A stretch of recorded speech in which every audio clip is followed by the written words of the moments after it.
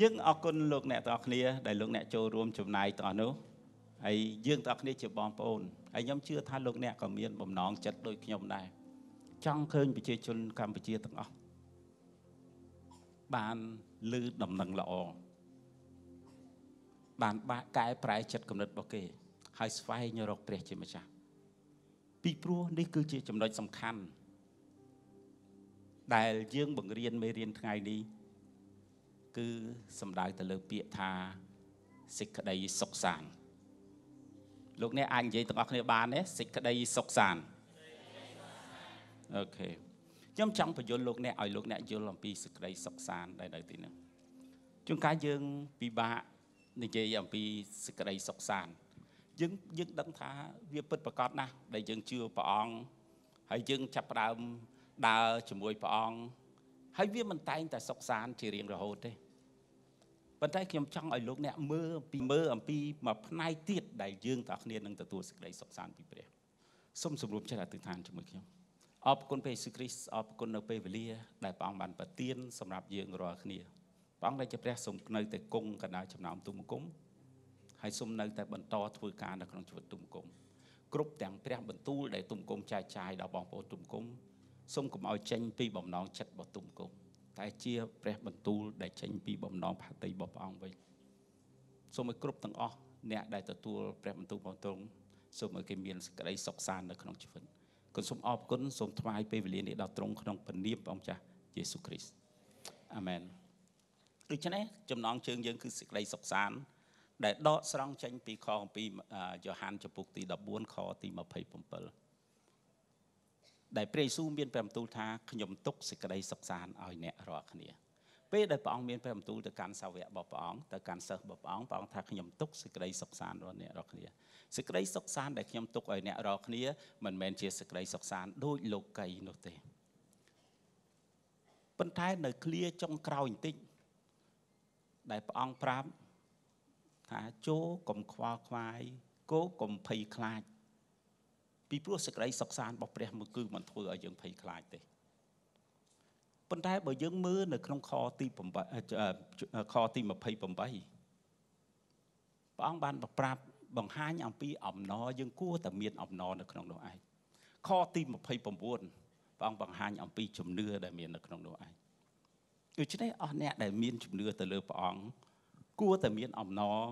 ហើយដឹងប្រកាសថាយើងនឹងមានសេចក្តីសុខសាន្តនៅក្នុងព្រះជាម្ចាស់ មុនពេលដែលខ្ញុំបន្តខ2នេះខ្ញុំចង់ឲ្យលោកអ្នកទាំងអស់គ្នាមើលទៅក្នុងសភៅហ្វីលីបចំពុកទី4ខទី4ដល់ខទី7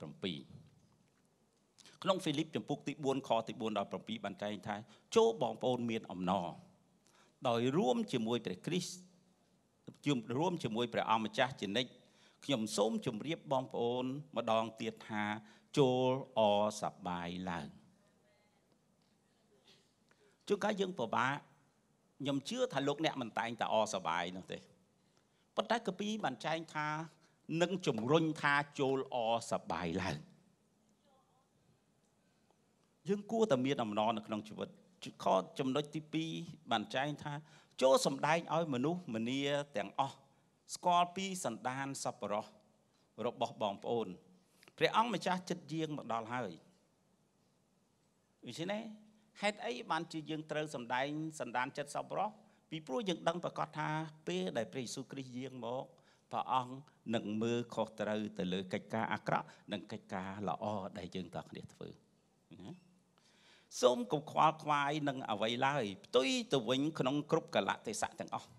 ត្រូវទូលអង្វរព្រះអម្ចាស់ព្រះជាម្ចាស់ឲ្យជ្រាបអំពីសំណូមពររបស់បងប្អូន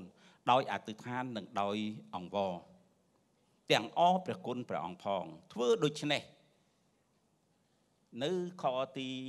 7បានចែងថាធ្វើដូច្នេះសេចក្តីសុខសាន្តរបស់ព្រះជាម្ចាស់ដែលខួសពីការស្មានរបស់មនុស្សនឹងស្ថិតជាប់ក្នុងចិត្តគំនិតបងប្អូន ដែលរួមក្នុងអង្គព្រះគ្រីស្ទយេស៊ូវមិនខាន នៅក្នុងខទី7បានចែងថាធ្វើដូច្នេះតើធ្វើអីធ្វើអ្វីដែលខមុនបានចែង ដូច្នេះសេចក្តីសុខសាន្តរបស់ព្រះនឹងស្ថិតនៅក្នុងចិត្តគំនិតរបស់បងប្អូនជានិច្ចណាបើលោកអ្នកមើលនៅក្នុងសៀវភៅអេសាយចំពុកទី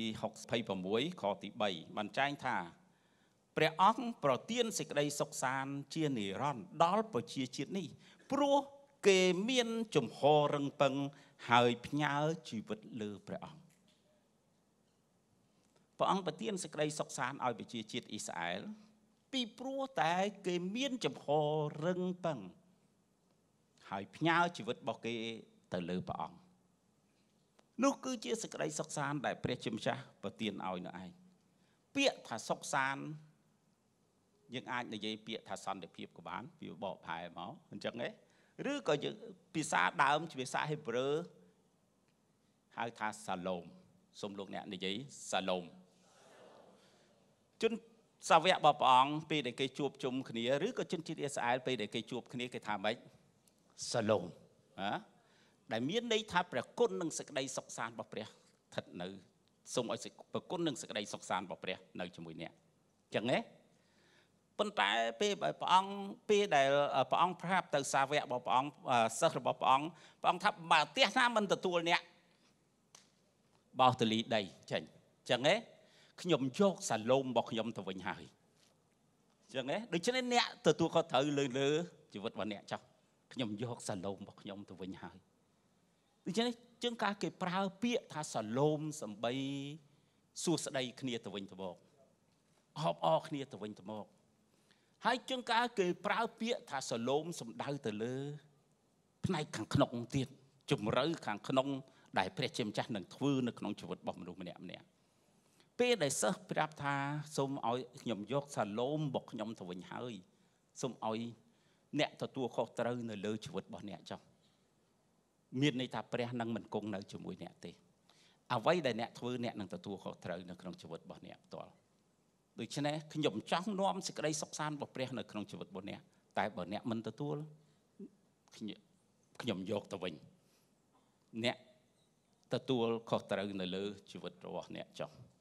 ដូច្នេះនៅក្នុងបទកម្ពីបើយើងមើលនៅក្នុងព្រះកម្ពីពីរបាក្សត្រចំពុកទី14មានស្ដេចមួយអង្គឈ្មោះស្ដេចអសាហើយស្ដេចអសាគឺជាស្ដេចមួយដែលគោរពកោតខ្លាចព្រះជាម្ចាស់ជាស្ដេចមួយនៃប្រទេសដ៏តូចមួយ នៅពេលមួយស្ដេចនៃស្រុកអេជូពីបានលើកទ័ពមក ដើម្បីវាយជាមួយនឹងជនជាតិអ៊ីស្រាអែល ស្ដេចអេជូពីមានគ្នារហូតទៅដល់1លាននាក់មានទ័ពរហូតដល់1លាននាក់មានប្រទេសចម្បាំងមានគ្រឿងស្តាវុធហើយ គឺជាប្រទេសមួយដែលខ្លាំងក្នុងការធ្វើសង្គ្រាម នៅពេលដែលគេលើកទ័ពមកដើម្បីតយុទ្ធជាមួយនឹងស្ដេចនៃប្រទេសអ៊ីស្រាអែលស្ដេចស្ដេចអសាបានចេញទៅនាំទ័ពដែលទុនខ្សោយ 30ម៉ឺននាក់ទៅប្រយុទ្ធជាមួយនឹងស្ដេចអេជូពីហើយបើយើងមើលมันអាចមានអ្វីដែលស្ដេចអសាវ័យឈ្នះអេជូពីទេប៉ុន្តែនៅក្នុងបទកម្ពីបានចែងថាអសាបានធ្វើឲ្យអេជូពីបរាជ័យ ទាំងរទេសចម្បាំងដ៏ខ្លាំងដ៏ខ្លាំងពូកែនិងទាំងតបសឹករបស់អេជូពីត្រូវបរាជ័យនៅរត់នៅមុខស្ដេចអសាពីព្រោះតែព្រះជាម្ចាស់ទ្រង់ជាអ្នកដែលច្បាំងជំនួសស្ដេចអសាអាមែនដូច្នេះពេលដែលយើងសំដៅទៅលើសេចក្តីសុខសាន្តជួនកាលយើងគិតថាខ្ញុំនឹងបានសុខសាន្តខ្ញុំនឹងនៅដោយកន្លែងមួយដែលស្ងាត់ចងំ អត់មានអីទាំងអស់ឬក៏ឡើងទៅលើកំពូលភ្នំដែលខ្ពស់បំផុតដែលគ្មាននរណាប៉ះពាល់ដែលគ្មាននរណាបៀតបៀនខ្ញុំដែលមិនប៉ះមិនប៉ះពាល់បរិយាកាសមិនប៉ះពាល់អ្វីៗទាំងអស់នៅក្នុងជីវិតរបស់ខ្ញុំមិនមែនសំដៅទៅលើអាហ្នឹងទេបើយើងមើលពេលបន្ទាប់ពីដាវីតទទួលជោគជ័យទទួលបទពិសោធន៍ថ្មីថ្មីនៅក្នុងជីវិតរបស់លោក នៅក្នុងទំនុកដំកើងចំពុកទី23ដាវីតថា ព្រះជាម្ចាស់ជាកងវិលរបស់ខ្ញុំមានន័យថាប្រខ្ញុំជីវិតរបស់ខ្ញុំប្រៀបបាននឹងជាមព្រះជាម្ចាស់ជាកងវិលរបស់ខ្ញុំដូច្នេះខ្ញុំនឹងមិនខ្វះអ្វីនោះឡើយព្រះអង្គជាកងវិលព្រះអង្គជាអ្នកដែលមើលថែរក្សាព្រះអង្គជាអ្នកដែលផ្ដល់អាហារឲ្យខ្ញុំដូច្នេះដល់វាថា ខ្ញុំសុខសាន្តណាស់ពីព្រោះអីព្រះជាម្ចាស់ជាកងវិលរបស់ខ្ញុំផ្ទាល់ខ្ញុំមិនបាច់ប្រឹងដោយខ្លួនឯងតែព្រះជាម្ចាស់ជាអ្នកដែលការពារខ្ញុំ ជាអ្នកដែលនាំខ្ញុំទៅរកស្មៅដ៏ខៀវខ្ចីជាអ្នកដែលនាំខ្ញុំទៅកន្លែងដែលទឹកហូរក្បែរផ្លូវទឹកហើយមានដើមឈើទៅមលប់ទៅឈឹងទៅឆៃហើយខ្ញុំសម្រាកនៅទីនោះយ៉ាងសុខសាន្ត ដូច្នេះខ្ញុំជាជាមពេលដែលជាមជាមពិតជាត្រូវការអ្នកកងវិលជាចាំបាច់បើជាមអត់មានអ្នកកងវិលនៅក្នុងជីវិតរបស់វាទេ ជាមវាអត់ដឹងធ្វើអីទេ ជាមជាសត្វមួយដែលយើងហៅថាល្ងងហើយគ្មានអ្វីដែលអាចការពារបានទេ វាអត់មានអីការពារអត់មានស្នែកអត់មានអីទាំងអស់ការពារនឹងឯងវាងាយស្រួលសម្រាប់ចចកមកហើយចាប់វាស៊ីអញ្ចឹងពេលដែលជាមមានអ្នកកងវិល ជាមពិតជាសុខសាន្តនៅក្នុងជីវិតរបស់វា អ្នកកងវិលធ្វើត្រង់ឲ្យវាអ្នកកងវិលនាំអង្គុយការពារនៅនៅមាត់ទ្វារដើម្បីកុំឲ្យចចកចូលដូចជានៅក្នុងចហានចំពុកទី10ចំពុកទី10អញ្ចឹងព្រះយេស៊ូវថាម៉េចខ្ញុំជាកងវិលដែលដែលល្អអញ្ចឹងហ៎ខ្ញុំអង្គុយនៅមាត់ទ្វារដើម្បីការពារជាមរបស់ខ្ញុំ មិនអោយសัตว์ណាមួយចូលមកក្នុងទ្រុងដើម្បីចាប់ជាមរបស់ខ្ញុំទេដូច្នេះតើជាមសម្រាប់បានស្រួលដែរអត់បានស្រួលនៅក្នុងទ្រុងដោយសារតែមានអ្នកកងវិលការពារដែលនៅជុំវិញនោះឯងដូច្នេះដាវីតថាខ្ញុំព្រះជាម្ចាស់ជាកងវិលរបស់ខ្ញុំខ្ញុំមិនខ្វះអីឡើយព្រះអង្គជាអ្នកដែលការពារខ្ញុំព្រះអង្គដែលជាអ្នកដែលនាំឲ្យខ្ញុំទៅរកស្មៅដ៏ខៀវខ្ចី ព្រះអង្គជាអ្នកជាអ្នកនាំខ្ញុំទៅកន្លែងដែលសម្រាកយ៉ាងស្រួលខ្ញុំអត់មានការទុកអីពីព្រោះព្រះជាគង្វាលរបស់ខ្ញុំដូច្នេះពេលដែលយើងប្រើពាក្យថាសាឡូមនេះវាអាចសំដៅទៅលើការដែលមានសេរីភាពពីការរំខានផ្សេងផ្សេងវាសំដៅទៅលើការដែលទទួលប្រពរនៅក្នុងជីវិតរបស់យើង វាសំដៅទៅលើការដែលព្រះអង្គចាប់ផ្ដើមធ្វើឲ្យចិត្តរបស់យើងមានអំណរនៅក្នុងនោះឯងដូច្នេះនេះដែលយើងហៅថាពាក្យថាសឡូមនេះឯងដែលពាក្យអង់គ្លេសហៅថា irene ដូច្នេះ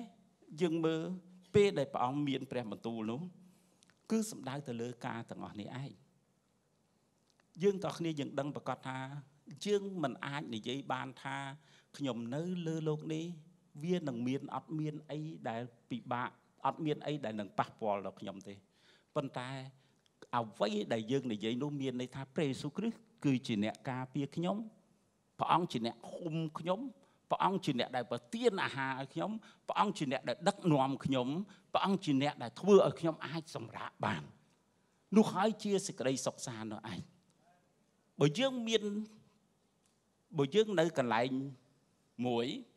មានសត្រូវជាច្រើនដែលនៅជុំវិញហើយមានកងទ័ពមួយដ៏ខ្លាំងនៅហុំព័ទ្ធយើង ហើយកងទ័ពនោះប្រាប់ថា អ្នកឯងអាចនៅកន្លែងហ្នឹងខ្ញុំនឹងការពារអ្នកពីសត្រូវរបស់អ្នកខ្ញុំនឹងផ្ដល់អាហារឲ្យអ្នកបើសត្រូវមកខ្ញុំនឹងច្បាំងដូច្នេះ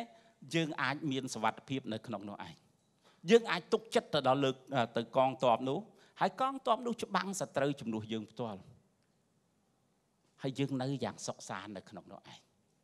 ដោយសារមានកងទ័ពមួយដ៏ធំដែលចាំការពារយើងនោះឯងយើងនៅសុខសាន្តជាមួយព្រះជាម្ចាស់ព្រោះព្រោះយើងដឹងប្រកាសថាព្រះជាអ្នកដែលការពារយើងព្រះអង្គជាអ្នកដែលឃុំព័ទ្ធនៅលើជីវិតរបស់យើងព្រះអង្គជាអ្នកដែលថែរក្សាយើងផ្ទាល់ដូច្នេះយើងបានសុខសាន្តដោយសារតែព្រះអង្គការពារនោះឯងនោះហើយដែលយើងហៅថាសេចក្តីសុខសាន្តនោះឯងមិនសំដៅថាយើងអត់មានអីទាំងអស់ប៉ុន្តែយើង មានព្រះជាអ្នកដែលការពារយើង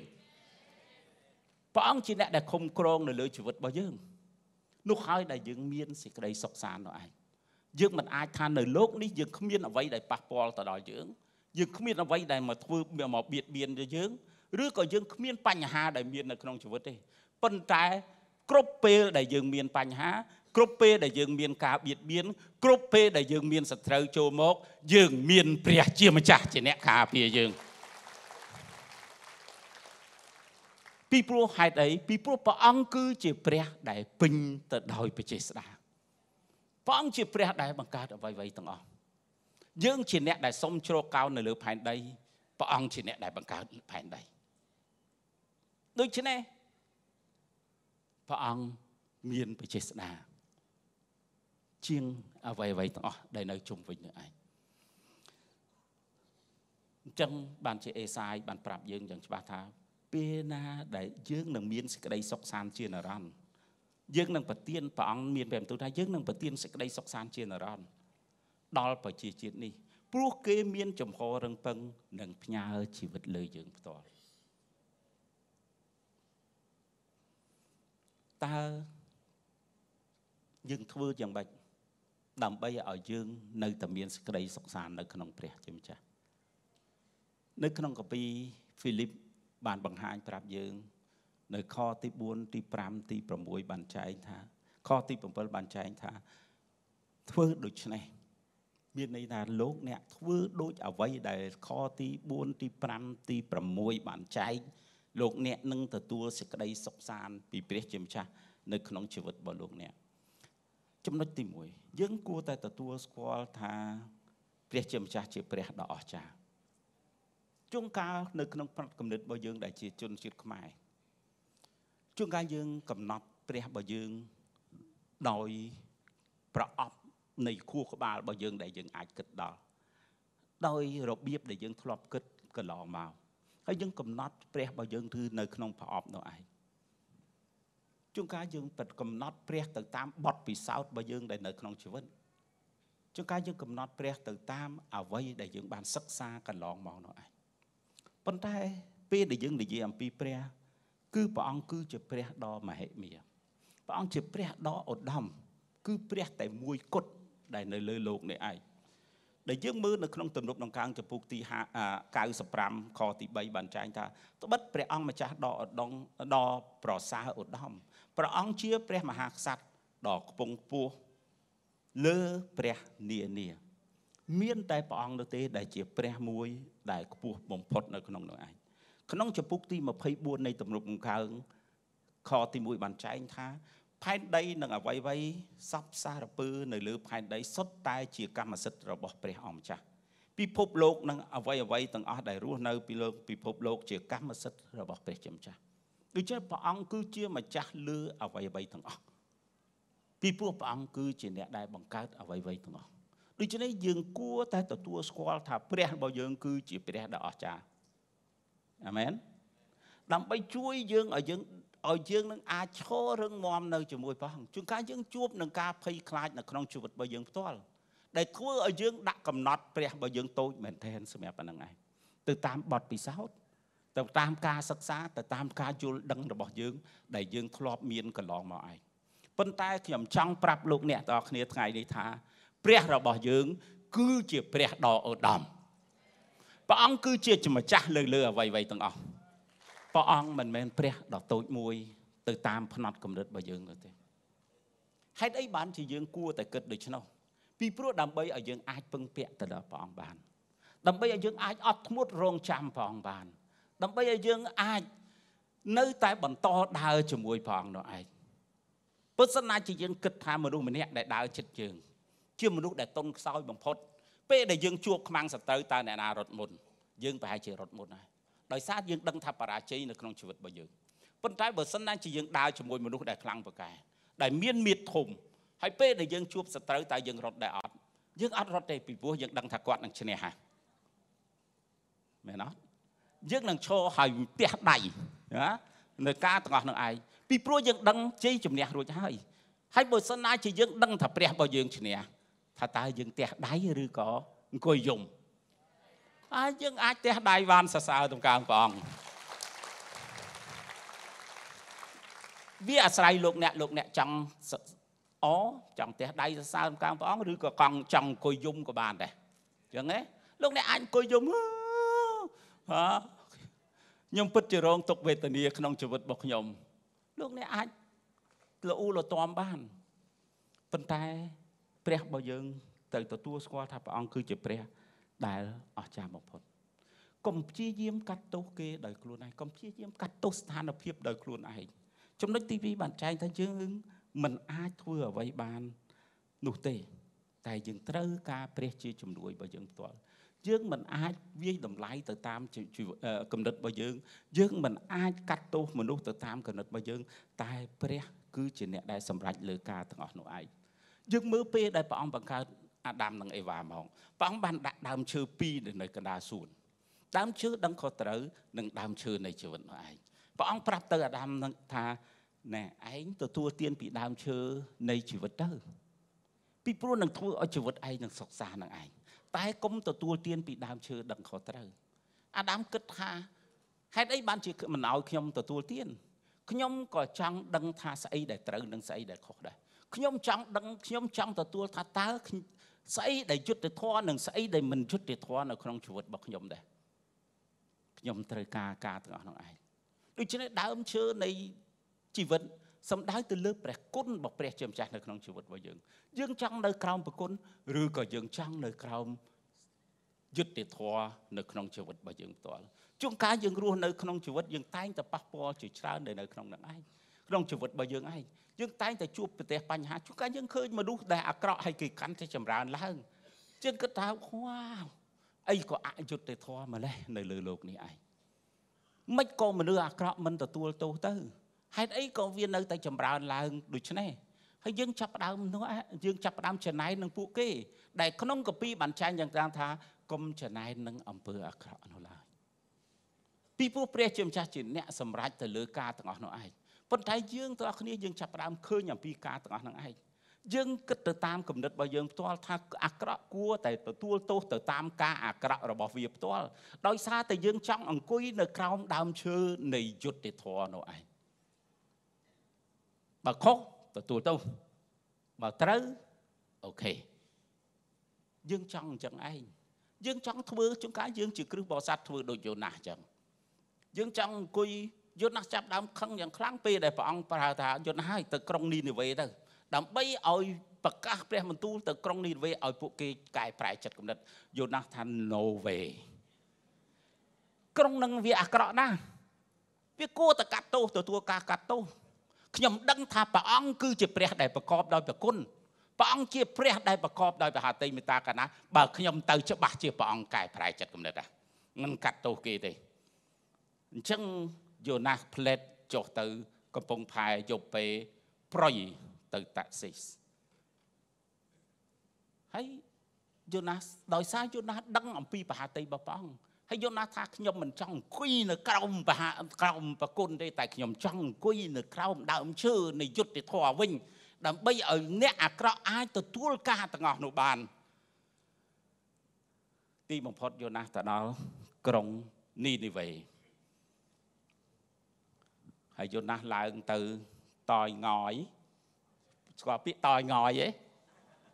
ខ្ញុំអត់ដឹងទេណាបកប្រែបកប្រែខ្លួនឯងចុះតយងយ ដើរតយងយទៅដល់ចូលនៅកណ្ដាលក្រុងហើយទាំងចិត្តមិនចង់អត់ចង់ទេតែវើយព្រះកាត់ទោសហើយកែប្រែចឹងមនិតប្រុយរត់ប្រុយទៅពួនបាត់អ្នកក្រុងនេះឬវេកាន់តែលឺអញ្ចឹងតាំងពីតូចរហូតដល់ស្ដាច់ស្លៀកបាវឲ្យកាន់ទុកព្រះអង្គលើកលែងទោសឲ្យគេមែន យូណាស់ខឹងចិត្តចឹងខ្លាំងទៅអង្គុយនៅវីរោស្ថានខ្ញុំថាអញ្ចឹងចឹងមែនណាខ្ញុំគិតហើយថាលើកលែងទោសលើកលែងទោសមែនទៅអង្គុយនៅក្រោមនៅវីរហោស្ថានក្បាលទំពេកហងក្តៅផងរឹតតែមួម៉ៅខ្លាំងទៀតនៅវារោស្ថានព្រះអង្គបានធ្វើឲ្យវល់មួយចាប់ផ្ដើមដុះឡើងគ្របនៅលើក្បាលរបស់យូណាសយូណាសមានអារម្មណ៍ល្អធ្វើទៅជា អញ្ចឹងហ៎មានអារម្មណ៍ល្អស្រាប់តែស្អែកឡើងក្តៅម្ដងទៀតដោយសារតកើមកស៊ីអស់យូណាសខឹងយ៉ាងខ្លាំងថាព្រះអង្គហើយមិនក៏មិនសម្លាប់ទូបង្គំទៅ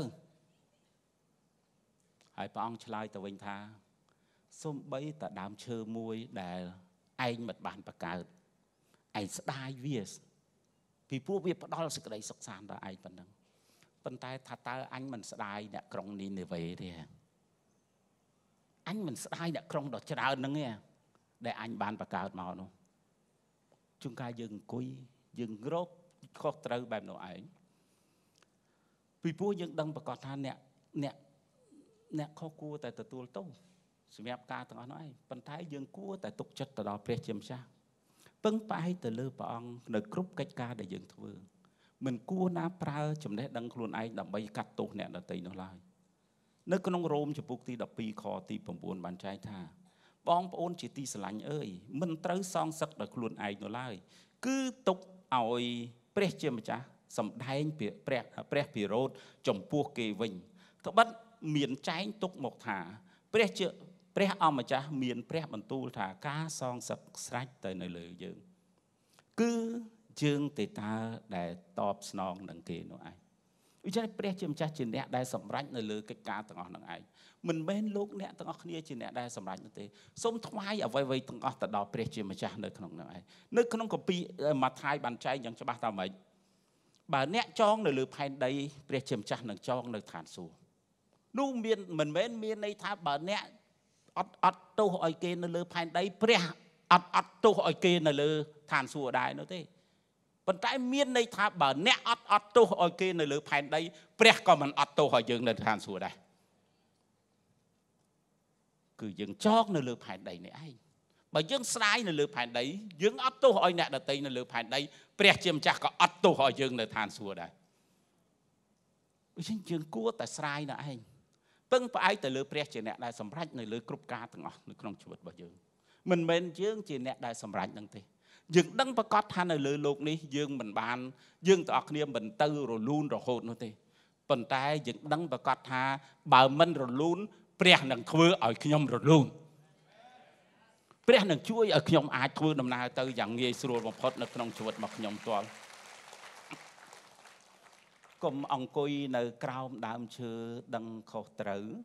ហើយស្រែករកព្រះគុណរបស់ព្រះជាម្ចាស់ គុំដូចយូណាស់អង្គុយនៅវារហោស្ថាន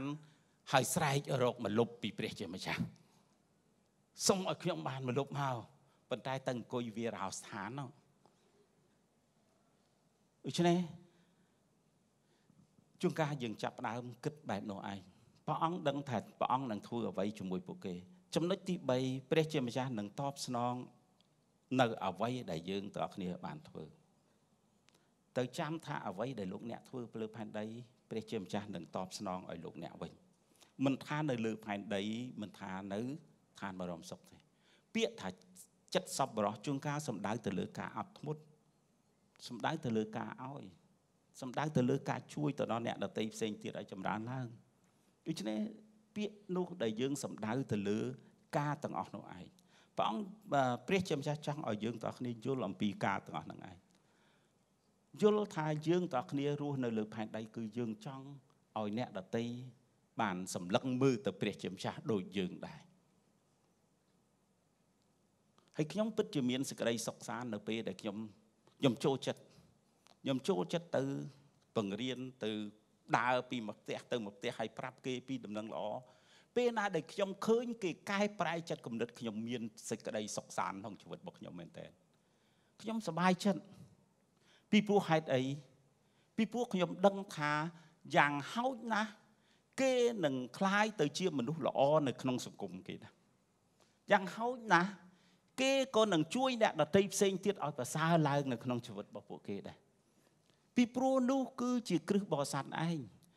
យើងទាំងអស់គ្នាដែលជាគ្រឹះបរិស័ទយើងមិនមែនរស់សម្រាប់ខ្លួនឯងនោះទេយើងរស់សម្រាប់អ្នកដតីផងដែរកុំគ្រាន់តែគិតអំពីខ្លួនឯង ប៉ុន្តែគិតពីអ្នកដតីដែលនៅជុំវិញយើងហើយពេលណាដែលយើងគិតពីអ្នកដតីព្រះជាម្ចាស់គិតពីយើងពេលដែលយើងចាប់ដើមស្អប់មនុស្សជួនកាលយើងខឹងនឹងមនុស្សប៉ុន្តែពេលដែលយើងនឹកឃើញដល់ព្រះអង្គយើងគិតថាអូខ្ញុំនឹងធ្វើគ្រឹះបរិស័ទដ៏ល្អខ្ញុំនឹងទូលអង្វរទៅដល់ព្រះអង្គសម្រាប់ពួកគេសម្រាប់សត្រូវរបស់ខ្ញុំផ្ទាល់ ហើយពេលដែលយើងចាប់ដើមទូលអង្វរតើព្រះធ្វើការនៅជីវិតរបស់គេមុនឬធ្វើការនៅជីវិតរបស់យើងមុនព្រះអង្គធ្វើការនៅក្នុងជីវិតរបស់យើងមុនធ្វើឲ្យយើងមានសេចក្តីសុខសាន្តមានអារម្មណ៍ល្អមែនទែនមានបហាទីមេត្តារបស់ព្រះនៅក្នុងជីវិតរបស់យើងមុនពេលដែលព្រះអង្គធ្វើការនៅក្នុងជីវិតរបស់គេក្នុងរោមចំពុកទី12ព្រះអង្គគម្ពីរបានចែងថាម៉េចចូលធ្វើចូល ឲ្យអាហារទៅដល់សត្រូវរបស់អ្នកចូលធ្វើល្អចំពោះសត្រូវរបស់អ្នកវាប្រៀបបានយកងើកភ្លើងទៅដាក់លើក្បាលរបស់ពួកគេធ្វើឲ្យគេអាចផ្លាស់ប្រែចិត្តគំនិតធ្វើឲ្យយើងមានអារម្មណ៍នៃសេចក្តីសុខសាន្តនៅក្នុងជីវិតរបស់យើងផ្ទាល់ដូច្នេះយើងត្រូវដឹងថាពេលដែលយើងធ្វើការមួយ ព្រះជាម្ចាស់គឺធ្វើនៅក្នុងជីវិតរបស់យើងមុន នៅក្នុងទេសមួយថេសាឡូនីកចំពុក5ខ23បានចែងថាសូមព្រះជាម្ចាស់ជាប្រភពនៃសេចក្តីសុខសាន្តប្រោសបងប្អូនឲ្យបានវិសុទ្ធទាំងស្រុងវិសុទ្ធទាំងសូមសូមព្រះអង្គថែរក្សាខ្លួនបងប្អូនទាំងមូលទាំងវិញ្ញាណទាំងប្រលឹងទាំងរូបកាយស្អាតឥតសៅមង នៅថ្ងៃដែលព្រះគ្រីស្ទជាអង្គម្ចាស់នៃយើងយាងមក យើងគួរសំដែងសក្តីសពប្រោះទៅមនុស្សទូទៅដើម្បីរៀបចំខ្លួនយើង នៅពេលដែលព្រះយេស៊ូវគ្រីស្ទយាងចុះមកនៅលើផែនដីនេះឯងយើងដឹងប្រកាសថាព្រះអង្គថ្ងៃណាមួយព្រះអង្គនឹងយាងចុះមកព្រះអង្គនឹងយាងមកមកដូចជាផ្លេកបន្ទោលមនុស្សទាំងអស់នឹងមើលឃើញ ពេលដែលព្រះអង្គយាងចុះមក ដើម្បីយើងទាំងអស់គ្នានេះឯង នៅក្នុងចំណុចបន្ទាប់ព្រះអង្គតែងឆ្លើយតបនឹងសំណូមពររបស់យើង ហើយទ្រង់ធ្វើហើយទ្រង់ព្រះអង្គនឹងធ្វើលើសមិនលេងទេណាធ្វើលើសពីនេះទៅទៀតព្រោះទ្រង់យកប្រហារតីទុកដាក់ដល់យើងដូច្នេះយើងដឹងថាគ្រប់ផ្នែកនៃជីវិតរបស់យើងព្រះអង្គយកចិត្តទុកដាក់ជាមួយយើងព្រះអង្គនឹងឆ្លើយតបនៅគ្រប់ទាំងសំណូមរបស់លោកអ្នកដែលទូលងព នៅនៅក្នុងពាក្យនោះពេលដែលយើងមើលនៅក្នុងសភៅហ្វីលីបចំពុកទី4បានចែងយ៉ាងច្បាស់ថាសូមអធិដ្ឋាននិងអង្វរទៅដល់ព្រះជាម្ចាស់ពាក្យអធិដ្ឋានគឺជាពាក្យដែលយើងសន្ទនាជាមួយព្រះពាក្យអង្វរគឺជាពាក្យដែលយើងសុំទៅដល់ព្រះត្រង់ត្រង់តែម្ដងនៅអ្វីដែលយើងចង់បានពីព្រះជាម្ចាស់ដូច្នេះយើងប្រើពាក្យអធិដ្ឋាននិងពាក្យអង្វរដែលមាននៅក្នុងនោះឯង ប៉ុន្តែយើងត្រូវដឹងប្រកាសថាព្រះជាម្ចាស់ទ្រង់យកបាតីទុកដាក់ជាមួយយើង គ្រប់កិច្ចការដែលយើងធ្វើទូលសុំទៅដល់បងបងនឹងធ្វើការទាំងនោះហើយធ្វើលើសពីនឹងទៅទៀតសម្រាប់នឹងឯងដូច្នេះចម្លើយឆ្លើយតបមកដែលព្រះឆ្លើយតបជាមួយយើង គឺព្រះអង្គនឹងឆ្លើយតបអ្វីដែលពិសេសបំផុតសម្រាប់យើងទាំងគ្នាជួនកាលយើងចង់បានតាមអ្វីដែលយើងគិតតាមកំណត់នៃខួរក្បាលរបស់យើងដែលយើងចាប់ គិតថាវាគួរតែបានអាបែបហ្នឹងឯងប៉ុន្តែព្រះអង្គចង់ឲ្យយើងដែលប្រសើរបំផុតត្រូវចាំព្រះអង្គនឹងឲ្យវាដែលប្រសើរបំផុតនៅក្នុងជីវិតរបស់យើងផ្ទាល់បើអញ្ចឹងបើចម្លើយឆ្លើយតបមក ដែលព្រះអង្គឆ្លើយតបសម្រាប់លោកអ្នកព្រះអង្គជួនកាលព្រះអង្គចាប់ផ្ដើមទុកពេលឲ្យយើងទាំងគ្នាឲ្យយើងរៀនចេះអត់ធ្មត់ឲ្យយើងរៀនចេះទុកចិត្ត ឲ្យយើងរៀនចេះរងចាំនៅអ្វីដែលជាចម្លើយរបស់ព្រះអង្គផ្ទាល់ពីព្រោះព្រះអង្គចង់ឲ្យអ្វីដែលល្អសម្រាប់យើង ទៅចាំថាអ្វីដែលកាន់តែយូររបស់នោះកាន់តែល្អសម្រាប់យើងតើគ្នាយើងមិនចង់ឲ្យនរណាម្នាក់ផលិតអ្វីមួយសម្រាប់យើងឆិនឆៃឆិនឆៃទេពីព្រោះយើងគិតថាវាមិនល្អប៉ុន្តែព្រះអង្គចង់ឲ្យអ្វីដែលល្អទៅដល់យើងតើគ្នាចំណុចទី2 ព្រះអង្គនឹងបង្ហូរព្រះអង្គនឹងចាក់បង្ហូរសេចក្តីសុខសាន្តមកក្នុងជីវិតរបស់យើងផ្ទាល់ដូច្នេះនៅក្នុងបទកម្ពីបើយើងធ្វើអ្វីដែលជាចំណុច4ខាងលើព្រះអង្គនឹងចាក់បង្ហូរសេចក្តីសុខសាន្តមកដល់យើងតើគ្នាបើយើងមើលនៅក្នុងសភៅយ៉ូហាន់ចំពុកទី16នៅខទី33បានចែងថាម៉េចព្រះយេស៊ូវបានមានព្រះបន្ទូលយ៉ាងច្បាស់សម្រាប់យើងតើគ្នា ព្រះអង្គនឹងប្រទានសេចក្តីសុខសាន្តដល់អស់អ្នកដែលដើរតាមព្រះអង្គផ្ទាល់ហើយសេចក្តីសុខសាន្តរបស់ព្រះអង្គដែលព្រះអង្គប្រទាននោះ គឺខុសពីសេចក្តីសុខសាន្តនៃលោកនេះឯងគឺជាសេចក្តីសុខសាន្តដែលព្រះអង្គប្រទានឲ្យយើងយ៉ាងល្អបំផុត នៅក្នុងជីវិតរបស់យើងខ្ញុំចង់សុំសុំមួយផ្លេតសម្រាប់លោកអ្នកទាំងអស់គ្នា ខ្ញុំអានខគម្ពីរត្រឹមត្រូវខ្ញុំខ្ញុំអានជូនលោកអ្នកណាខ្ញុំនឹងខ្ញុំនិយាយប្រាប់ដូច្នេះដើម្បីឲ្យអ្នករាល់គ្នាប្រកបដោយសេចក្តីសុខសាន្តរួមជាមួយខ្ញុំ អ្នករាល់គ្នាជួបនឹងទុក្ខវេទនានៅលោកនេះប៉ុន្តែចូលមានសង្ឃឹមឡើងខ្ញុំបានឈ្នះលោកនេះហើយដូច្នេះព្រះយេស៊ូវបានប្រាប់ថាព្រះអង្គបានឈ្នះលោកនេះហើយ សេចក្តីសុខសាន្តដែលព្រះអង្គប្រទានឲ្យយើង គឺជាសេចក្តីសង្ឃឹមមួយសម្រាប់ជីវិតរបស់យើងផ្ទាល់ពីព្រោះហេតុអីពីព្រោះព្រះអង្គបានឈ្នះនៅលើអ្វីៗទាំងអស់នៅលើលោកនេះហើយឈ្នះទុក្ខវេទនាឈ្នះខ្វាំងសត្រូវឈ្នះអរិយឈ្នះសេចក្តីស្លាប់ព្រះអង្គបានឈ្នះទាំងអស់នោះហើយដូច្នេះយើងគួរតែទុកចិត្តទៅដល់ព្រះអង្គបើព្រះអង្គឈ្នះ ហើយយើងនឹងមានសេចក្តីសុខសាន្តនៅក្នុងជីវិតរបស់យើងដោយសារតែយើងដឹងថា ព្រះដែលប្រទានឲ្យយើងនោះគឺប្រទានសេចក្តីសុខសាន្តដ៏ពិតប្រាកដពីព្រោះព្រះអង្គគឺជាព្រះដែលឈ្នះនៅលើលោកនេះឯងបើសិនណាជាយើងជឿទៅដល់ព្រះមួយដែលបរាជ័យជឿទៅដល់មនុស្សដែលតែងតែបរាជ័យនៅក្នុងនោះឯងហើយយើងគិតថាគេនឹងផ្ដល់អ្វីជោគជ័យឲ្យជីវិតរបស់យើង យើងចង់ពឹងពាក់គេប៉ុន្តែគេជាមនុស្សបរាជ័យ តើមានយើងមានសេចក្តីសុខសាន្តនៅក្នុងជីវិតយើងអត់នៅពេលដែលយើងទៅដល់ជួបពួកគេនោះឯងយើងទៅពឹងពាក់ពួកគេនោះឯង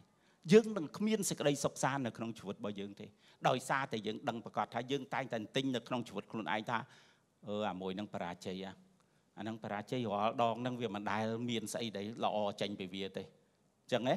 វាមិនដែលមានស្អីល្អចេញពីអ្នកបរាជ័យនឹងទេតែបើយើងនៅតែទុកចិត្តយើងនឹងបរាជ័យមែន ប៉ុន្តែព្រះយេស៊ូវបានធានាជាមួយយើងថាព្រះអង្គប្រទានសេចក្តីសុខសាន្តមួយទៅដល់យើងផ្ទាល់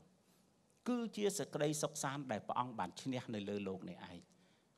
អ្វីអ្វីទាំងអស់ដែលលោកអ្នកជួបប្រទះនេះឯងព្រះអង្គបានឈ្នះរួចហើយគ្មានអ្វីមួយដែលវាអាចបៀតបៀនទៅដល់លោកអ្នកទេពីព្រោះព្រះអង្គបានឈ្នះវារួចហើយដូច្នេះព្រះអង្គកំពុងតែហុំព័ទ្ធលោកអ្នកទាំងអស់គ្នាកំពុងតែការពារលោកអ្នកទាំងអស់គ្នា ហើយបើព្រះអង្គគឺជាអ្នកមានជ័យជំនះហើយជាអ្នកដែលការពារលោកអ្នកទាំងអស់គ្នាជាអ្នកដែលជួយលោកអ្នកទាំងអស់គ្នាតើលោកអ្នកមានសេចក្តីសុខសាន្តក្នុងជីវិតដែរអត់យើងពិតជាមានសេចក្តីសុខសាន្តនៅក្នុងជីវិតពីព្រោះដោយសារតែព្រះអង្គឈ្នះលោកនេះហើយយើងមិនភ័យខ្លាចអំពីជំងឺទេពីព្រោះយើងដឹងថាព្រះអង្គឈ្នះជំងឺយើងមិនភ័យខ្លាចអំពីទរណកម្មទេ ពីព្រោះយើងដឹងថាព្រះអង្គបានឈ្នះទរណកម្មយើងមិនភ័យខ្លាចអំពីភាពក្រីក្រយើងទេ ពីព្រោះព្រះអង្គបានដាក់ខ្លួនជាព្រះដែលមានមកធ្វើជា អ្នកបម្រើយើងតើគ្នាដូច្នេះយើងមិនភ័យខ្លាចអំពីការទាំងអស់នោះទេយើងមិនភ័យខ្លាចអំពីអរិយដែលបៀតបៀនទេយើងមិនភ័យខ្លាចពីសត្រូវដែលនៅជុំវិញទេពីព្រោះយើងមានព្រះមួយដែលមានជ័យជំនះនៅក្នុងជីវិតរបស់យើង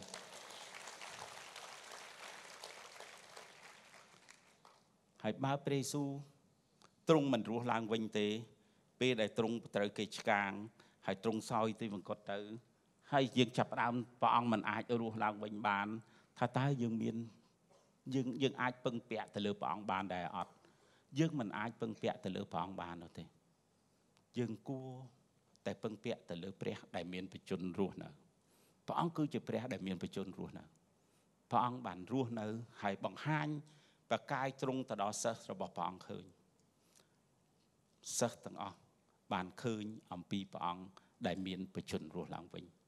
ខ្ញុំចូលចិត្តលក្ខណៈរបស់លោកពេត្រុសពេលដែលលោកពេត្រុសពេលដែលព្រះជាម្ចាស់មានព្រះបន្ទូលលោកពេត្រុសមិនដែលបដិសេធទេអ្វីដែលព្រះយេស៊ូវមានព្រះបន្ទូលលោកពេត្រុសធ្វើភ្លាមទោះបីជាខុសឬត្រូវ ទោះបីជាគាត់មិនយល់យ៉ាងណាក៏ដោយប៉ុន្តែលោកពេត្រុសចាប់ផ្ដើមធ្វើការទាំងអស់ហ្នឹងឯងហើយខ្ញុំចូលចិត្តលក្ខណៈរបស់គាត់ផ្ទាល់ពីព្រោះគាត់បានសម្ដែងអំពីភាពជឿជាក់ដែលព្រះអង្គមានដែលដែលគាត់មានចំពោះព្រះយេស៊ូវគ្រីស្ទទោះបីជាចំណុចខ្លះខ្លះដែលគាត់ធ្វើខុសក៏ដោយទោះបីជាគាត់ជាមនុស្សភ័យខ្លាចជាមនុស្សកំសាជាមនុស្សដែលរត់លឿនជាងគេ ប៉ុន្តែព្រះយេស៊ូវគ្រីស្ទព្រះអង្គស្រឡាញ់គាត់ពីព្រោះអីពីព្រោះលោកពេត្រុសជាមនុស្សម្នាក់ដែលហ៊ានធ្វើគ្រប់ទាំងព្រះបន្ទូលដែលព្រះអង្គមានព្រះបន្ទូលនោះឯងចឹងហើយបានជាព្រះអង្គប្រែកែប្រែចិត្តគំនិតរបស់លោកពេត្រុសហើយលោកពេត្រុសជាអ្នកដែលធ្វើកិច្ចការច្រើន ក្នុងនាមជាសាវករបស់ព្រះអង្គផ្ទាល់មិនដូចជាលោកថូម៉ាស់ដែល តែងតែគិតជាមនុស្សដែល logic តល់តែឃើញតល់តែពាល់បានចាប់ផ្ដើមជឿប៉ុន្តែព្រះអង្គនៅតែស្រឡាញ់ថូម៉ាស់យើងត្រូវដឹងថាលក្ខណៈរបស់លោកពេត្រុសនោះហើយ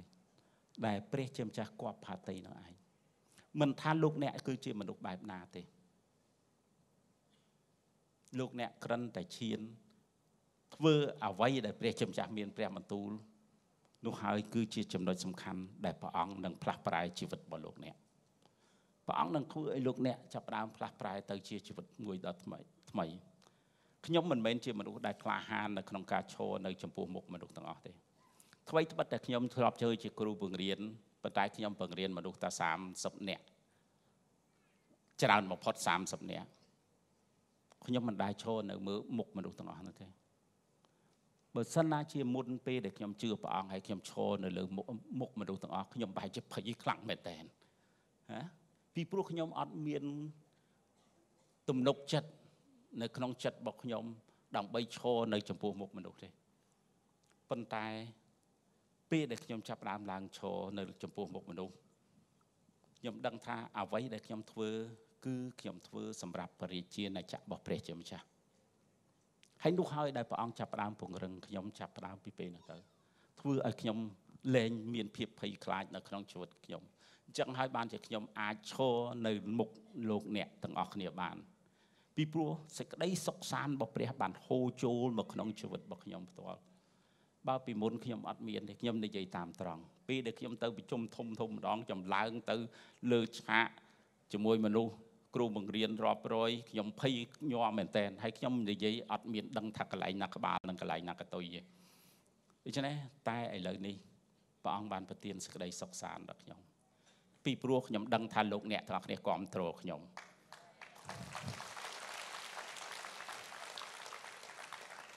ពីព្រោះលោកអ្នកទាំងអស់គ្នាទះដៃឲ្យខ្ញុំហើយទទួលនៅព្រះបន្ទូលដែលចេញចេញដែលខ្ញុំបានចែកចាយជាមួយលោកអ្នក យើងមើលដូច្នេះព្រះយេស៊ូវបានប្រាប់ទៅលោកពេត្រុសថាម៉េចនៅក្នុងយ៉ូហានចំពុកទី20ខ19ខ្ញុំទុកសេចក្តីសុខសាន្តដល់អ្នកសូមឲ្យសេចក្តីសុខសាន្តរបស់ខ្ញុំនេះ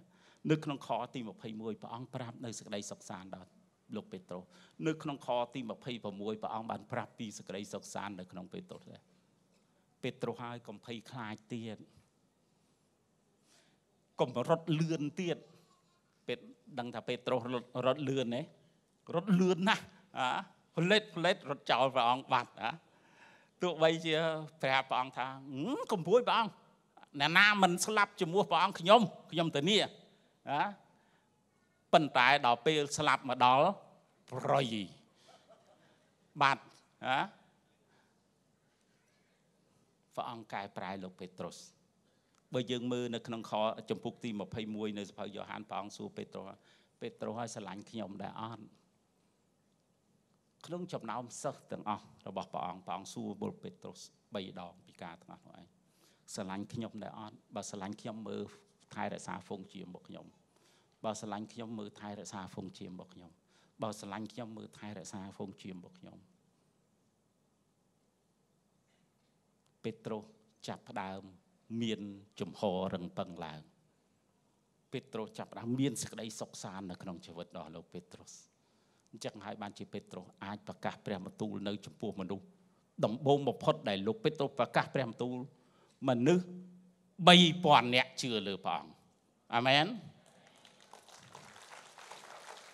ពីព្រោះតែព្រះអង្គប្រទានកម្លាំងប្រទានសេចក្តីសុខសាន្តដល់លោកពេត្រុសលោកពេត្រុសលែងភ័យខ្លាចចំពោះមនុស្សទៀតដែរ ប៉ុន្តែលោកពេត្រុសឈរដោយក្លាហាននៅក្នុងនៅក្នុងអេសាយចំពុកទី26ខទី23ម្ដងទៀតខ្ញុំអានជូនលោកអ្នកព្រះអង្គប្រទានសេចក្តីសុខសាន្តជានិរន្តរ៍ដល់ប្រជាជាតិនេះព្រោះគេមានចំហររឹងប៉ឹងនិងថ្មផ្ញើជីវិតទៅលើព្រះអង្គពេលដែលយើងឈរនៅលើព្រះបន្ទូលរបស់ព្រះអង្គពេលដែលយើងផ្ញើជីវិតនៅលើព្រះអង្គ នោះហើយជាសេចក្តីសុខសាន្តដែលព្រះប្រទានមកដល់យើងទាំងអស់គ្នាយើងនឹងមានសេចក្តីសុខសាន្តនៅក្នុងជីវិតរបស់យើងផ្ទាល់ខ្ញុំអាចឈរហើយមានទំនុកចិត្តនៅក្នុងការប្រកាសបន្ទូលព្រះបន្ទូលនេះពីព្រោះខ្ញុំដឹងប្រកាសថាខ្ញុំមិនប្រកាសដើម្បីខ្លួនឯងនោះទេ តែខ្ញុំគ្រាន់តែប្រកាសព្រះបន្ទូលរបស់ព្រះអង្គទៅដល់លោកអ្នកតែប៉ុណ្្នឹងឯងអ្វីដែលព្រះអង្គនឹងធ្វើគឺព្រះ ទៅក្នុងជីវិតរបស់លោកអ្នកម្នាក់ម្នាក់ បើលោកអ្នកអនុញ្ញាតបើកឲ្យព្រះបន្ទូលចូលទៅក្នុងជីវិតរបស់លោកអ្នកព្រះបន្ទូលនឹងដុះនៅក្នុងជីវិតរបស់លោកអ្នកបើលោកអ្នកមិនអនុញ្ញាតទេព្រះបន្ទូលក៏នឹងមិនដុះនៅក្នុងជីវិតរបស់លោកអ្នកដែរនោះគឺជាជំរើសរបស់លោកអ្នកម្នាក់ម្នាក់នៅក្នុងយ៉ូហានចំពុកទី14ខទី27បានចែងថាខ្ញុំទុកសេចក្តីសុខសាន្តរបស់ខ្ញុំដល់អ្នករាល់គ្នាខ្ញុំផ្ដល់សេចក្តីសុខសាន្តរបស់ខ្ញុំដល់អ្នករាល់គ្នាព្រះអង្គទុកវាព្រះអង្គឲ្យវាទៅលោកអ្នកទាំងអស់គ្នា ដើម្បីឲ្យលោកអ្នកទាំងអស់គ្នាបានទទួលសេចក្តីសុខសាន្តសេចក្តីសុខសាន្តដែលខ្ញុំផ្ដល់ឲ្យនោះមិនដូចជាសេចក្តីសុខសាន្តដែលមនុស្សលោកផ្ដល់ឲ្យនោះទេ យើងទាំងអស់គ្នាយើងដឹងថាលោកនៅលោកនេះខ្ញុំមានសេចក្តីសុខសាន្តខ្ញុំនិយាយរឿងមួយជារឿងពិតមានស្ត្រីចាស់ម្នាក់ហើយគាត់ក្រមែនតើជាមួយប្តីរបស់គាត់ខ្ញុំគិតថានៅឆ្នាំ9ជាងណា គាត់ក្រមែនតើផ្ទះរបស់គាត់តូចហើយគាត់តែងតែគិតថាបើសិនណាជាមានបងប្អូននៅអាមេរិកអីឲ្យតា200ដុល្លារអីសុបាយហ្មងទេណាបានលុយចាយណាហើយសម័យនោះលុយថ្លៃមែនតើអញ្ចឹងគាត់តែងតែគិតពីអញ្ចឹងឯងស្រាប់តែចាយដំថ្ងៃមួយប្តីរបស់គាត់រកឃើញបងប្អូននៅអាមេរិកមែនណាពេលដែលគាត់រកឃើញបងប្អូននៅអាមេរិកគាត់សរសេរសម្បត្តិនឹងស្អាត ទៅដល់បងប្អូនសម័យនោះអត់មានទូរស័ព្ទទេណាសេសវត្តយ៉ាងស្អាតផ្ញើតាមមែលទៅឲ្យបងប្អូនធ្លាក់200ដុល្លារមកផ្លែតមកដល់ភ្លាមណាហើយពេលដែលបាន200ដុល្លារប្រពន្ធសប្បាយចិត្តយ៉ាងខ្លាំងតែប្តីថារបស់អញទេណាបងប្អូនអញស្ញើមកហើយចាប់ពីបាន200ដុល្លារបាត់ពីអាទិត្យអត់ដឹងតាណាហើយដល់មកដល់វិញ សវឹងនៅប្រកាច់មិនដឹងថាតរនៅតាណាទេប៉ុន្តែមកដល់វិញប្រកាច់នឹងហើយប្រពន្ធនោះចាប់ដើមឃើញប្តីប្រកាច់នៅនឹងដោយសារសវឹងខ្លាំងហ៎អញ្ចឹងទៅក៏ចាប់ដើមលូលទាំកោសខ្យល់ផងច្បាច់ផងអើយអញស្មានតែបានលុយមកសុកស្រួលដល់ឯងបានលុយមកវេទនាជាងអាអត់ទៀតការអត់ចេះនៅជាមួយគ្នាអត់មានបញ្ហាប៉ុន្តែបានលុយមកគឺវេទនាជាងអត់ទៀតដូច្នេះជាងកាលតាមគំនិតរបស់យើងទាំងអស់គ្នាយើងគិតអំពីការទាំងអស់ហ្នឹងឯង សេចក្តីសុខសាន្តរបស់យើងគឺប្រៀបបាននឹងលោកីនេះឯងពេលដែលខ្ញុំមានខ្ញុំមានលុយខ្ញុំមានផ្ទះខ្ញុំមានស្អីស្អីទាំងអស់ខ្ញុំមានប្រពន្ធខ្ញុំមានកូនខ្ញុំមានសេចក្តីសុខសាន្តនៅក្នុងជីវិតរបស់ខ្ញុំផ្ទាល់ក៏ប៉ុន្តែទាំងអស់នោះมันអាចប្រកាសជានឹងប្រទានសេចក្តីសុខសាន្តរបស់យើងដល់យើងឯងយើងពិតជាត្រូវការរបស់ទាំងអស់នោះនៅក្នុងជីវិតរបស់យើងមែនអត់ប៉ុន្តែវាមិនប្រកាសថាវាជាអ្នកដែលប្រទានសេចក្តីសុខសាន្តដល់យើងនោះទេសេចក្តីសុខសាន្តដែលយើងមាន គឺសេចក្តីសុខសាន្តដែលមកពីព្រះជាម្ចាស់មានន័យថាពេលដែលយើងមានការទាំងអស់នោះហើយយើងមានព្រះជាម្ចាស់ដែលជាអ្នកដែលជួយឲ្យយើងកុំឲ្យយើងប្រើខុសអំពីអ្វីដែលព្រះជាម្ចាស់ចង់ឲ្យយើងប្រើនោះហើយយើងមានសេចក្តីសុខសាន្តនៅក្នុងជីវិតរបស់យើង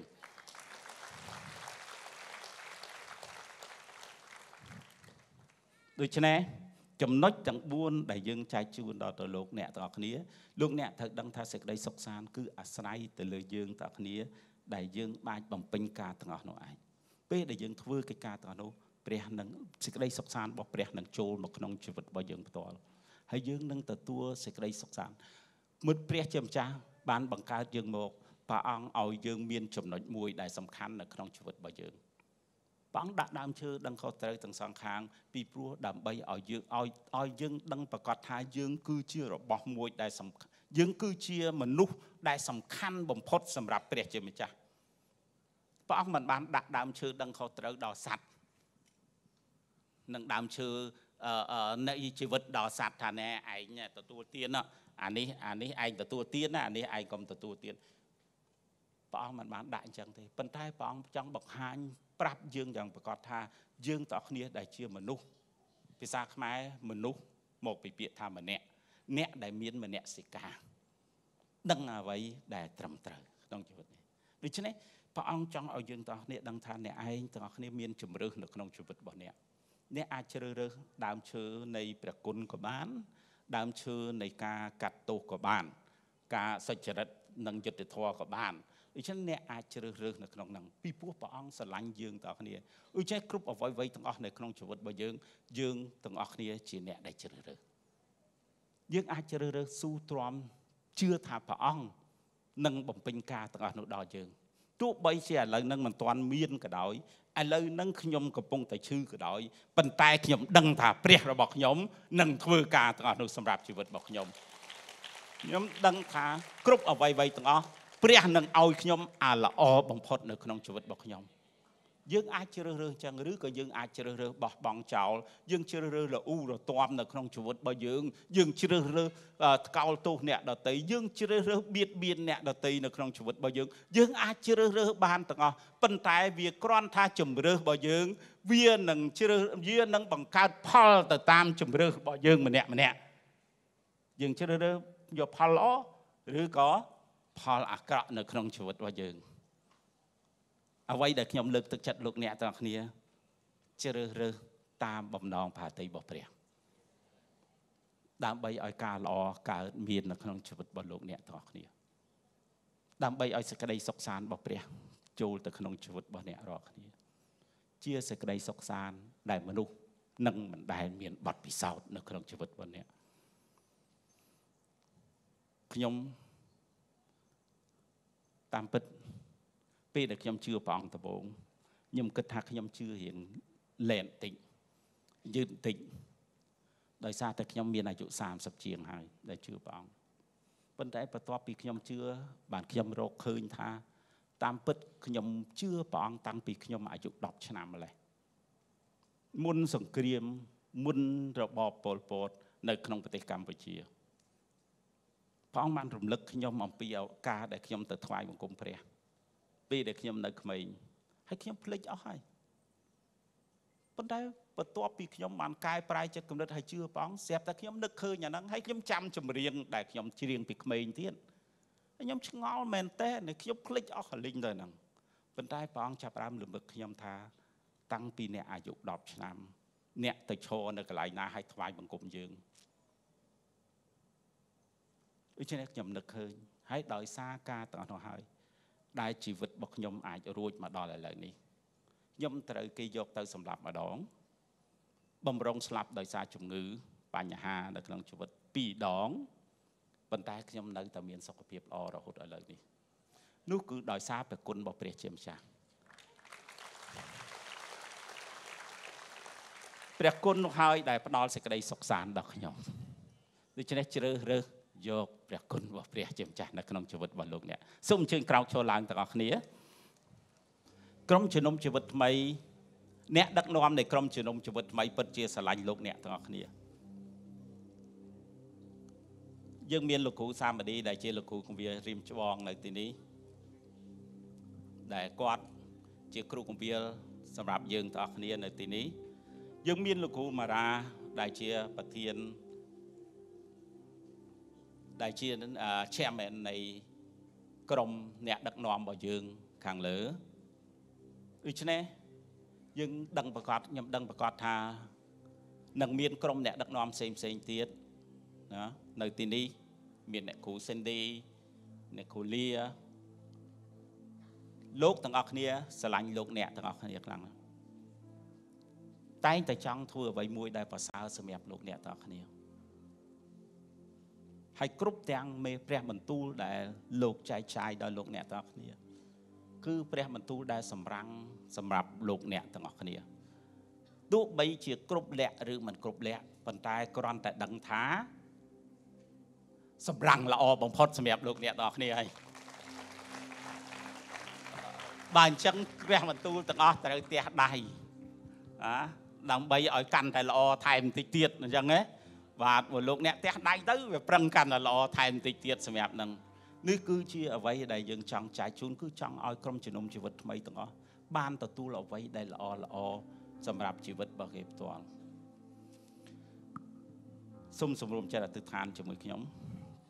អរគុណព្រះយេស៊ូវគ្រីស្ទអរគុណនៅបាតីបនៃស្រស់រំត្រង់ព្រះអង្គនៃព្រះសូមអរគុណនៅសេចក្តីសុខសាន្តដែលទូបង្គំបានទទួលពីព្រះអង្គផ្ទាល់ សូមឲ្យសេចក្តីសុខសាន្តរបស់ព្រះអង្គនៅតែបន្តសម្រាប់ហូរមកលើជីវិតទូមង្គមម្នាក់ម្នាក់សូមឲ្យទូមង្គមទាំងអស់គ្នាបានជ្រកកោននៅក្រោមព្រះគុណរបស់ព្រះជាម្ចាស់ដែលជាព្រះដែលប្រកបដោយវិចេស្តាសូមឲ្យគ្រប់ទាំងកិច្ចការទាំងអស់ដែលទូមង្គមធ្វើគឺធ្វើដោយការគោរពកោតខ្លាចព្រះព្រះអង្គផ្ទាល់ដែលជាព្រះដែលមានវិចេស្តាព្រះអង្គហើយសូមលូកព្រះហោះមកការពារបងប្អូនទូមង្គមដែលនៅទីនេះនិងប្រទានពរឲ្យគេ គ្រប់ទាំងពួកជំនុំជីវិតថ្មីនឹងមិនខ្វះខាតអ្វីនោះឡើយគេនឹងមានបរិបូរហើយហូរហៀព្រមទាំងអាចចែកទានទៅដល់អ្នកដតីផ្សេងទៀតកូនប្រកាសនៅសក្តីសន្យារបស់បងទ្រង់ដែលព្រះអង្គបានសន្យាថាមិននឹងមិនឲ្យយើងជាអ្នកដែលសុំទាននោះឡើយតែឲ្យយើងគឺជាអ្នកដែលឲ្យវិញព្រះអង្គដែលជាព្រះដែលមានជាស្នាគុណសូមអរគុណគ្រប់ទាំងកិច្ចការទាំងនេះសូមអរគុណនៅប្រាតី មេត្តារបស់ព្រះអង្គអរគុណសម្រាប់សេចក្តីសន្យាដែលព្រះអង្គមានសម្រាប់ទុំមង្គមម្នាក់ម្នាក់គុណសូមថ្វាយបងប្អូនទុំមង្គមថ្វាយផ្ដាច់ដល់ទ្រង់ក្នុងព្រះនាមព្រះម្ចាស់យេស៊ូវគ្រីស្ទ